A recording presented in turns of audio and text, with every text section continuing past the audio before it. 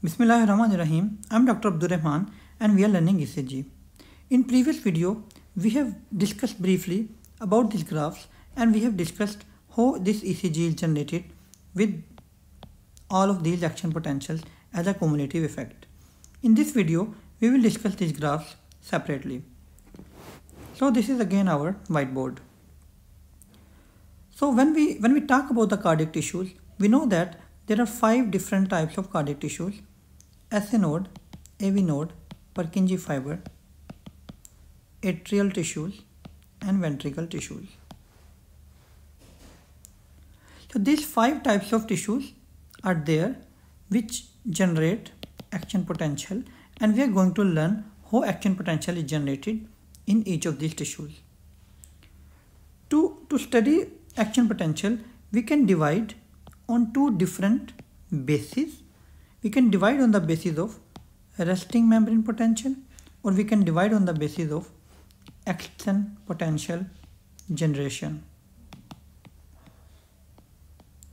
So when we divide these five tissues on the basis of resting membrane potential, they can be static resting membrane potential or there can be dynamic resting membrane potential.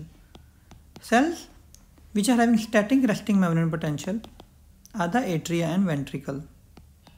So their resting membrane will be resting membrane potential will be same static at the same baseline and it will not it will not increase until it will receive some stimulus.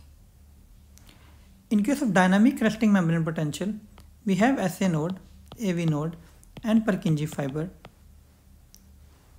and their resting membrane is not static. Their resting membrane will be like this sloping. And it can generate impulse on their own without any stimulus. So that's why they are also the pacemaker cells or they have the ability of automaticity. On the other hand if we divide them on the basis of action potential generation so then again we can divide in two groups. The one in which action potential is generated due to sodium influx and the second in which action potential is generated due to calcium influx. So in atria, ventricle and Purkinje fibers, action potential will be generated due to sodium influx. On the other hand, SA node and AV node will generate action potential with the influx of calcium.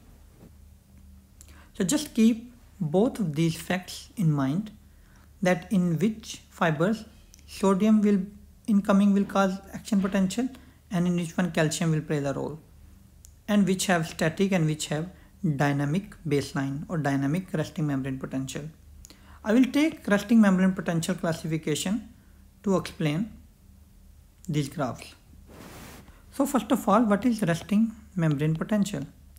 Resting membrane potential is nothing but the cell membrane potential at the resting state. And we are talking about heart. So cardiomyocytes, their cell membrane and the potential of their cell membrane at the resting state will be resting membrane potential. That is the simplest thing. And in case of our cardiomyocytes, this resting membrane potential is established by potassium efflux. We know that there is constant potassium leaking from the cell to interstitial spaces which is going on in the heart. So this potassium leakage or this potassium efflux will generate the resting membrane potential of the heart. And different tissue, different heart tissues have different resting membrane potential. For example, in case of SA node, it might be minus 55 or minus 60. But in case of Purkinje fibers or ventricles, it might be 70 to 90, minus 70 to minus 90. So before further going deep into the resting membrane potential, we will come back here. Let me explain different ion channels which are present in each type of cells because it will help us understand how this resting membrane potential and automaticity of different cardiac tissues work. So first of all, we have this cell and this cell is taken from atria or ventricle mean non-conducting tissues. We have three different types of channels on this cell. One of them is responsible for potassium conduction, one of them is for sodium and one of them is for calcium. So from this channel, this channel is called inflow potassium rectifier. Its name is showing it is inflow but the main effect it is generating is the efflux of potassium from the cell and this potassium efflux is responsible for our resting membrane potential in all the cells we uh, I will repeat this this channel in all the tissues so this channel which is causing potassium leakage is present in all the tissues SA node, AV node and all them all of them. And other one this green color this channel is called voltage gated sodium channel. And its main function is to push sodium inside when there is some certain stimulus because these cells don't have automaticity so they need some stimulus. And when they have that stimulus this channel will be activated and the sodium will be moving from extracellular to intracellular environment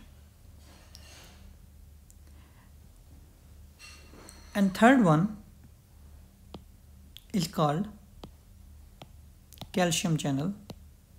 And this is L type calcium channel. And L type calcium is basically long term calcium. Mean it will be a slow calcium and it will keep it will be activated for a longer period of time until a certain level of calcium is built up in the cell. It will be keep on activating. And the function of this cell is to push extracellular calcium inside the cell. So we have three types of channels. One responsible for potassium efflux and that potassium efflux will be generating our resting membrane potential. Second one, sodium inside the cell and this sodium inside the cell will generate our action potential and then the calcium. So now let's see how the action potential will be generated in atria and ventricle by these cells. So as I told you, when we are at resting potential, this is the resting membrane potential and this is generated by the potassium efflux and this is let's say minus 70 so when a certain type of stimulus is received by the cells in the atria or ventricle the sodium channels will be open as I explained earlier.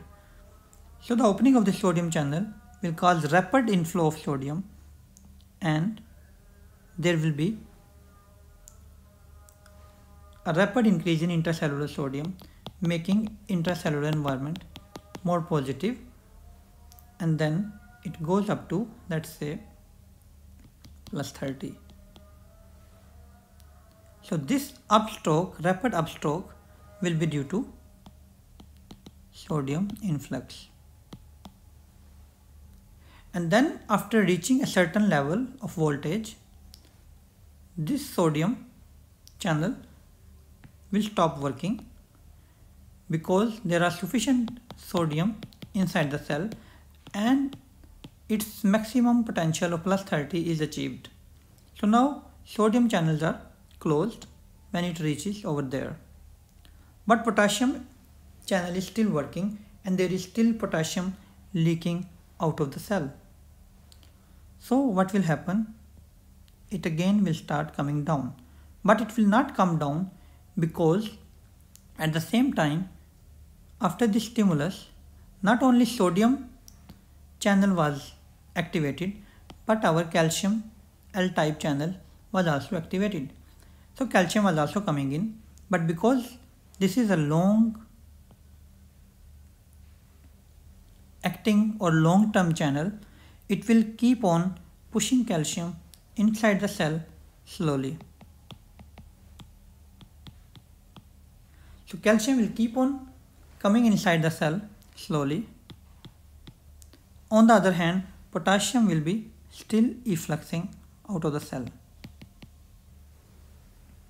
So because calcium is coming in and potassium is going out, so they counterbalance each other and that's why we get a, a slope called plateau and the voltage will be static for a while.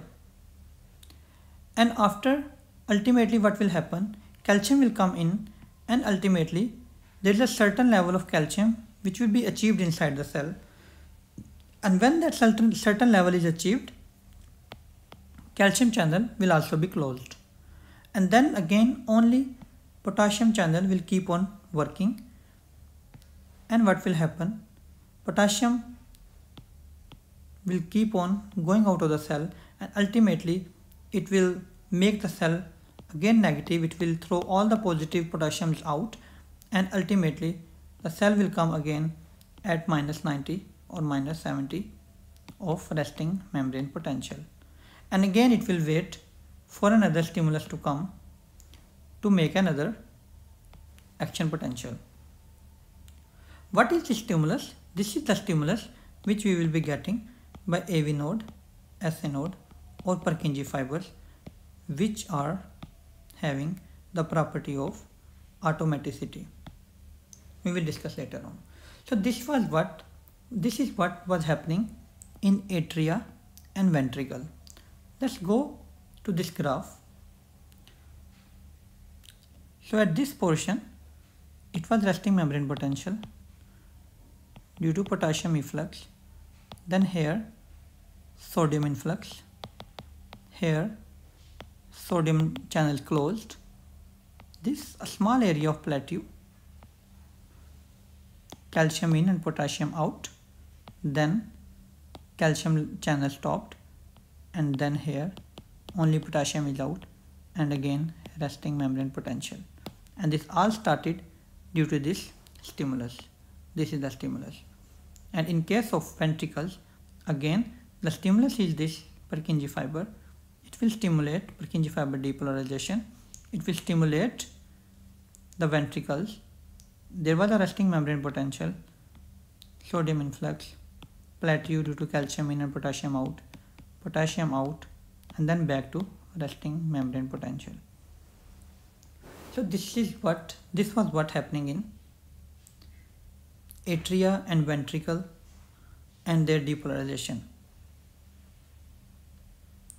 So now let's move to, to the next cell. Now again we I'm going to make another cell and this time this is a Purkinje fiber. So we have four types of cells in the four types of channels in the Purkinje fiber.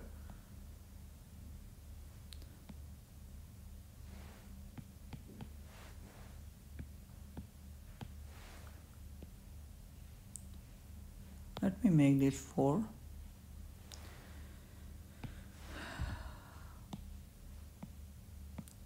So this this time the potassium influx potassium rectifier I made like this to make it simple so there will be a potassium efflux channels which are basically influx potassium rectifier and uh, similarly as we discussed before there will be an L-type calcium channels which will be putting calcium in and there will be a sodium channel voltage gated fast sodium channel will be, which will be putting sodium inside the cell. But we have one extra channel and this is called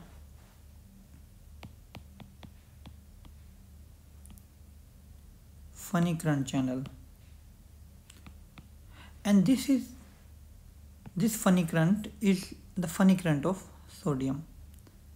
It will put sodium inside the cell and this channel is represented by IF I is for current and F is for funny.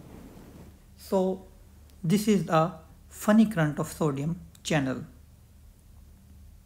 So this is what happening in Purkinje fiber. When the Purkinje fiber is at the resting state potassium is going out of the cell. And funny current sodium is coming inside the cell. And funny current of sodium is relatively more than the potassium which is going out of the cell. So what happens in that?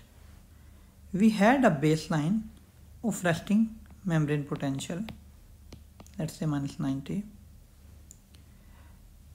in other tissue when only potassium was acting. But here potassium is going out but sodium is coming in. So instead of this we are having a slopy appearance. So this we, we, we don't have a straight line we have a slope. This slope is due to potassium efflux and sodium influx. And then the slope continues continues continues until it reaches a threshold level. And that threshold level when it reaches that threshold level for example let's say the threshold level was minus 60 so when that threshold level was achieved, threshold level of minus 60 is achieved, this sodium channel is activated. It will activate the sodium channel. Sodium channel will open and there will be a fast influx of sodium as happened before. In this, the opening of sodium channel was coupled with some stimulus.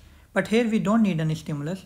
We just wait to build the potential as high as the threshold potential and threshold potential of this sodium channel fast sodium channel is achieved. That this channel will open it will cause sodium influx that will be very fast and there will be depolarization. And then ultimately again what will happen? Sodium will cause intracellular environment whole positive and it can go maybe to positive 30 and then the sodium channel will be stopped because it has achieved its maximum potential. And at this time only two channels are working. One is the potassium which is going out of the cell. And one is calcium which was also activated due to the threshold which is coming inside the cell. So again there will be a plateau phase where calcium will be coming in and potassium will be going out. And then again as happened before when a certain level of calcium is achieved inside the cell the calcium channel will also be stopped and only potassium channel will be working and it will again take the voltage back to minus 90 which was the resting membrane potential. I want to mention one more thing the funny currents of sodium that don't work all the time that will work only at resting membrane potential. So when the current will come back to the resting membrane potential of minus 90 or minus 70 or whatever is the resting membrane potential funny current will work and as soon as the threshold potential will be achieved the funny currents will be stopped and the sodium influx will start and rest of the cycle. And then again when it achieves our resting membrane potential funny current will will again come in and it will again help him attaining the threshold potential. And when threshold potential is achieved and again cycle is restored. So in this way the Purkinje fiber have the automaticity they can automatically generate impulses even if there is no stimulus for them. And now let's go back to our graph and see what was here. This was the Purkinje fiber graph. This was the Purkinje fiber graph. And here what we can see, this line is not straight. It is a little bit slopy as compared to this one. So I will make it more slopy to, to make it clear. So it was going up. It achieved a certain threshold potential.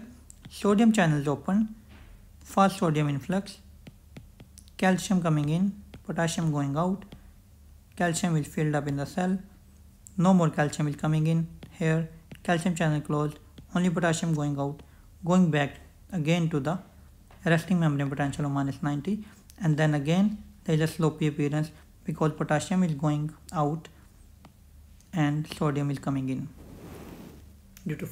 These funny currents will help him achieve the threshold potential. I think that will be clear. Now we have the last one SA node and AV nodes. What happens in them? First of all, let me draw one cell representing SA node and AV node. This cell will also be having the same thing. It will be having funny current. It will be having this is potassium efflux. This is sodium influx by the funny current and plus it will be having two types of channels but this time they are both calcium channels. They have L-type calcium channel and they have T-type calcium channel. And now I want you to take you back to the classification here. When we learn about action potential generation, so first three atrioventricular and Purkinje fibers, their action potential was generated by the help of sodium. Now in this one the only difference is that action potential will be generated with the help of calcium. So coming back to here, so that's why it is not having any fast sodium channel. So what happens in this SA node and AV node? At the resting membrane, at, at the resting state, potassium is going out and sodium is coming in. Because the funny current because of this funny current again its slope will not be straight rather it will be upsloping. Not too much but it will be upsloping. So what is happening here? Sodium is coming in and potassium is going out and again what was happening in Purkinje fiber it will achieve a certain threshold potential. This was resting membrane potential. So it will achieve a certain threshold potential. When it will achieve a certain threshold potential, so so uh, sorry, let me explain it again. Actually, it was I need to mention about the resting. So resting membrane potential for SA node and AV node is almost 60 minus 60 millivolts. So at minus 60 millivolts, what was happening? Potassium was going out and sodium was coming in. And that's why the slope was a little bit slope. There is a slope, it is not straight. So then when it reaches to almost minus 50 milliequivalent millivolts, then what happens? Our T-type calcium channels will be activated. And this T-type calcium channel is called transient calcium channels, T for transient. So it will be activated and it will help him and a, a further upstroke a little bit to achieve minus 40 millivolts which is the threshold potential and when this threshold potential for L-type calcium channel is achieved there will be a rapid influx of calcium and it will go up to its maximum potential of plus 10 milliequivalent. And then when it achieves its maximum potential, this rapid calcium influx will stop. And then at the moment, only one thing is working, that is potassium efflux. And then potassium will keep on going out until it will achieve its old potential, resting membrane potential of minus 60. So again as happened in the Purkinje fiber, here as well, when this a this cell, when this SA node or AV nodal cell achieve the threshold potential, our funny currents will stop and our transient calcium channels will also stop. Then only L-type calcium channel will be working. And when L-type calcium channel will be achieving its potential, again they will be stopped. But it is the potassium channel and potassium efflux which will continue till the end. And it will bring it back again to its baseline and again the cycle will start and again it will achieve the threshold potential and it will carry on like this. So this is what is happening in SA node and AV node. Again, because of its slopy resting membrane potential, it don't need any stimulus to start. And that's why it is having pacemaker potential and that's why they are having the ability of automaticity which is not present in atrial and ventricular cells. So that's it for this video. I hope you understand uh, you understood these graphs and I hope you understood the movement of ions. So that's it for this. Let's move to the next video. Thank you.